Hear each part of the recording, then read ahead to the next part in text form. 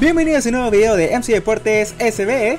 Bueno amigos y amigas, tenemos otro videito de viernesito y es que bueno, quería informarles también que la selección femenina sub-20 pues se encuentra disputando también el premundial de esa categoría. Y nuestras seleccionadas debutaron el día de hoy frente a la selección de Trinidad y Tobago. Y pues tenemos buenísimas noticias ya que las dirigidas también por el profe Eric Acuña se impusieron el día de hoy 3 por 0 con un sólido triunfo y pues la selecta se encuentra en el grupo G, donde comparte grupo pues con las selecciones de Canadá y San Cristóbal y Nieves. Las anotadoras del encuentro del día de hoy pues fueron Paola Calderón de Alianza al minuto 23, Jimena Uribe al 43 y Linda Guillén pues quien puso el tercer tanto al minuto 87.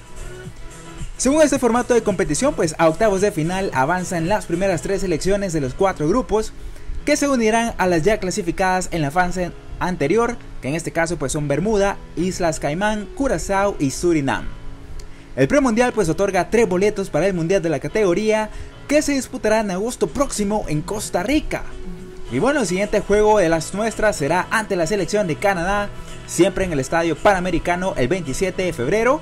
Así que les deseamos también la mejor de las, suertes, de las suertes a estas chicas y pues que nos sigan representando de la mejor manera.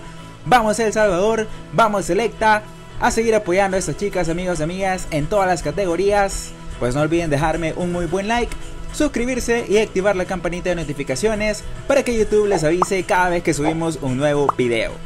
Un enorme abrazo de gol, El Salvador somos todos y nos vemos en un nuevo video de MC Deportes SB.